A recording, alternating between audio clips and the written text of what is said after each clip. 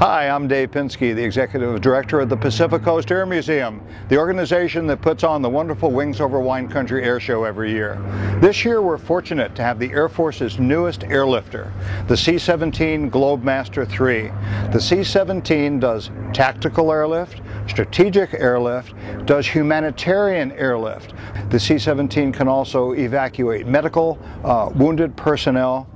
The C-17 also has very advanced features for the pilot. For example, it's got what we call a glass cockpit. So there aren't the old round instruments that most of us have flown for years have known.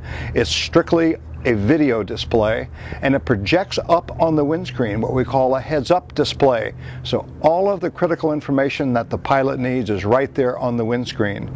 Another interesting feature of the C-17 is most large aircraft have a control uh, stick or a yoke. The C-17 has a has a stick just like a fighter aircraft does and that's because it can fly like a fighter. It can take off from very short airfields, it can land on short unimproved airfields and the C-17 is the only aircraft of its size that can back up.